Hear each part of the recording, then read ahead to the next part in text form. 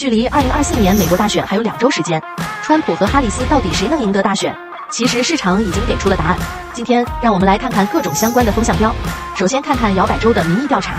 ，RCP 的统合民调数据显示，川普目前在全部七个摇摆州领先，图中全部七个摇摆州都已翻红。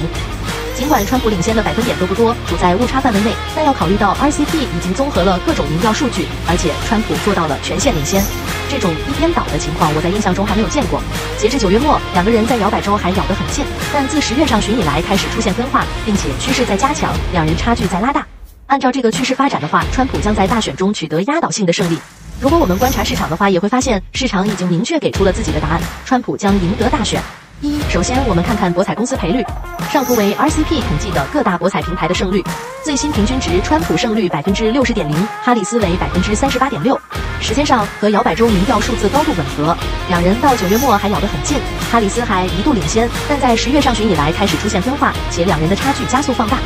二，川普媒体科技集团 EJT 控有川普旗下的社交媒体 Truth Social，被认为是川普政治在市场上最直接的风向标。九月下旬开始上涨，过去一个月内上涨百分之一百六十九，说明市场压住川普赢得本次大选。三，然后 Mega 用力的视频及社交媒体平台，作为对 YouTube 等左翼民主党互联网大厂社交媒体平台的替代。Peter Thiel、JD 万斯、Vivek Ramaswamy 方面参与早期投资，过去一个月上涨百分之十六。四，墨西哥比索及美元。川普反复强调，将在上台后对墨西哥大幅提高关税，限制从墨西哥进口产品，其中尤其针对汽车产业，包括投资于墨西哥的美国及中国汽车产业，号称将关税提高到百分之二百，不让一辆汽车从墨西哥进口到美国，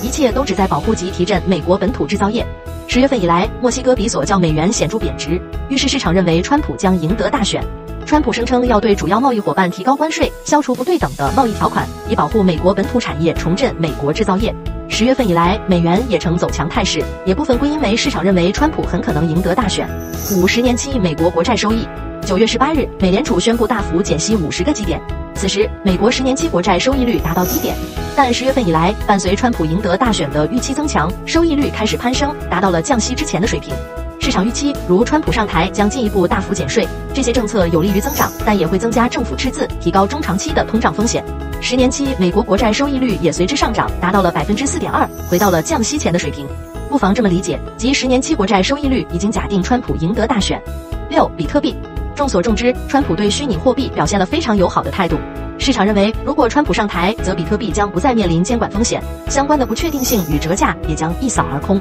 所以，比特币的表现是川普能否当选的一个重要风向标。十月十一日以来，比特币已经上涨超过百分之十，预示市场认为川普将赢得大选。七钢铁产业，川普反复强调要重振美国的传统产业，包括传统能源与钢铁等产业。相比而言，石油、天然气受国际地缘政治影响更大，而钢铁产业更加本土、更加可控，是更好的风向标。十月份初以来，美国钢铁公司股价上涨百分之十。八银行，川普的一个核心政策主题是去监管，针对金融行业，提出要去除二零零八年金融危机之后多为民主党提出设置的各种繁杂监管。因此，银行股也是川普政治的风向标。从六月中旬以来，银行股上涨百分之二十二。可以注意到，银行股的走势和哈里斯与川普的此起彼伏高度相关。哈里斯代替拜登竞选势头正好时，银行股即下跌。九月十日，川普在与哈里斯的辩论中落败，银行股也出现下跌。但十月份以来稳步上涨，预示市场认为川普可能当选。九，监狱和收容，监狱、拘留、收容在美国是一个产业，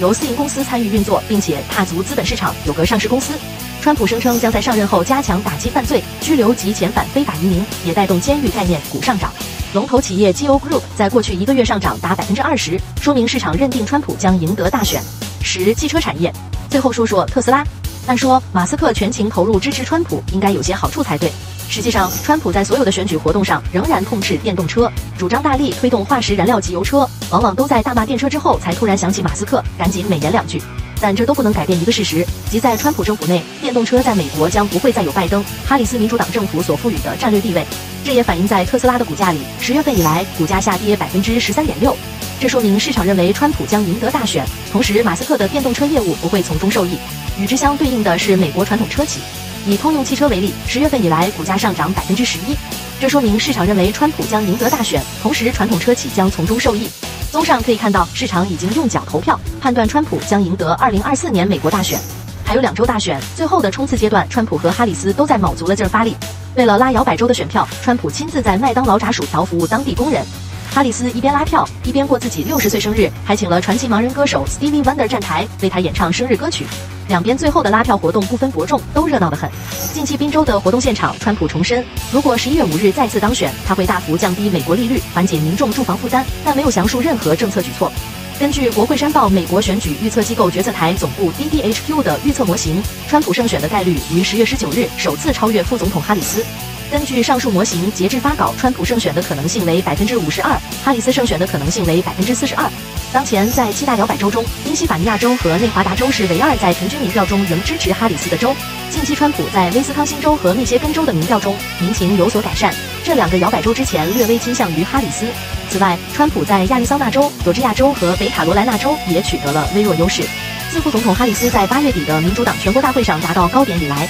以及九月十日与川普的唯一一场辩论之后，民调一直在向川普的方向倾斜。从最近一周的民调来看，哈里斯最近的密集宣传活动并未带来任何类似的提振。即便如此，所有迹象都表明这是一场异常接近的选举。略微向川普倾斜的趋势让民主党人感到不安。另一方面，堕胎问题可能在最高法院推翻罗素韦德案后的首次总统选举中推动哈里斯的投票率上升。七个摇摆州或将决定选举结果。亚利桑那州是川普最强大的战场之一。目前，川普在国会山报斜杠 DDHQ 民意调查平均值中领先一点七个百分点。川普在佐治亚州的平均支持率领先一点九个百分点，这是他在任何摇摆州的最大领先优势。密歇根州，川普领先零点七个百分点。内华达州，哈里斯在三个主要民调中都保持着微弱的领先优势，但他的优势仅为零点二个百分点。北卡罗来纳州，川普刚好领先一个百分点。该州是这位前总统在二零二零年大选中唯一获胜的七个战场之一。宾夕法尼亚州，该州是战场地图上最大的赢家，有十九张选举人票可供争夺。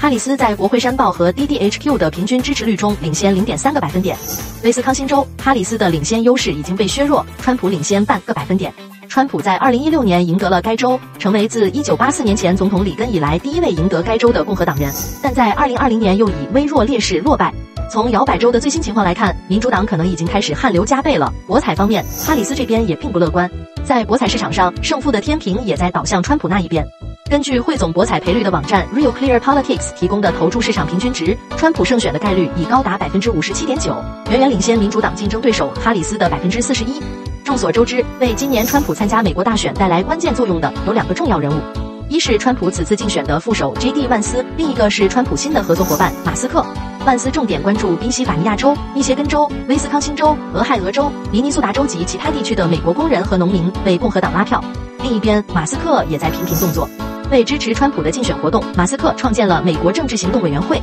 当地时间十月十九日，马斯克宣布将每天随机向一名签署美国政治行动委员会请愿书的宾夕法尼亚州选民发放一百万美元，直到大选日。次日，马斯克在宾夕法尼亚州颁发了他的第二个百万美元奖金。此前公开的联邦文件显示，马斯克目前已向美国政治行动委员会提供了至少七千五百万美元。马斯克选择用财富和权力支持川普，作为回报，川普放话会让马斯克领导一个新的政府效率委员会。该委员会有权建议对联邦机构进行大范围开支削减，并修改联邦法规。里面的弯弯绕绕，简言概括，就是马斯克给川普助力，川普胜选后给马斯克放权，使后者为其庞大的商业帝国清扫一定的监管障碍。